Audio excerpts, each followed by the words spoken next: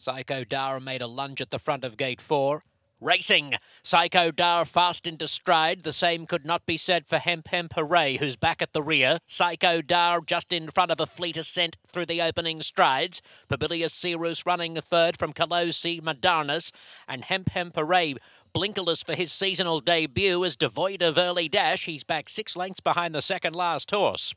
It's Psycho Dar and a fleet ascent flying about six lengths clear of Pubilius Syrus, a length and a half. Mardanus joined by Colosi and Hemp is four lengths off. Last of all, a fleet ascent and Psycho Dar in a wicked duel in the baffle by three lengths from Pubilius Syrus, a length and a half to Colosi, striding past Mardanus and Hemp at the rear, but closing in within seven lengths of the lead. They approach the dirt crossing Psycho Dar and a fleet ascent just a length and a half from Pubilius Pubilius Syrus coming to their outside. Madonna stays nearer the fence than Colosi. And Hemp Hempere brought to the extreme outside by Espinosa. Pubilius Syrus gathers in those early dueling leaders. He's in front with about 150 yards to go. A fleet ascent holding second, battling on gamely, in fact. But Pubilius Syrus had his measure mid-stretch, and the high-weight Pubilius Syrus takes the baffle from a fleet ascent, Colosi, and Hemp Hempere fourth.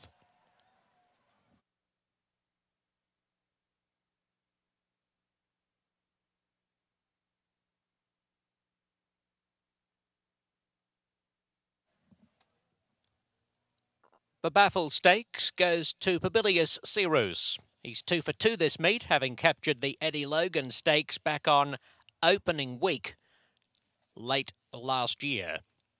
And is three for three overall on the Santa Anita turf. Pubilius Syrus, a bay colt by Candy Ride.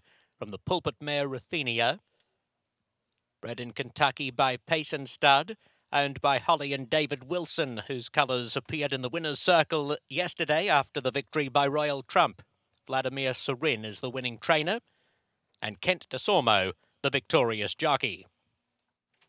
Ladies and gentlemen, Santa Anita is proud to welcome to the winner's circle Mr. De Courcy Graham, who, following Baffle's racing career, owned the outstanding multiple stakes winner known as the King of the Hill, Baffle, who was trained by the legendary Johnny Longden, held the six and a half furlong hillside turf course record for many years, after setting the record under Wayne Harris. De Courcy Graham presents the Baffle Stakes Trophy.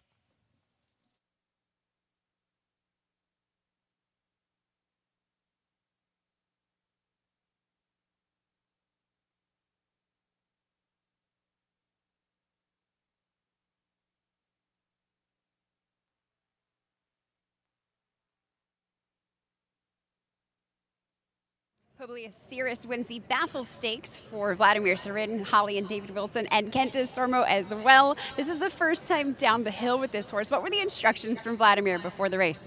Win. um, I, baffled. I was baffled. I had a little trouble keeping up with the field on a mile race, in a mile race in his previous start.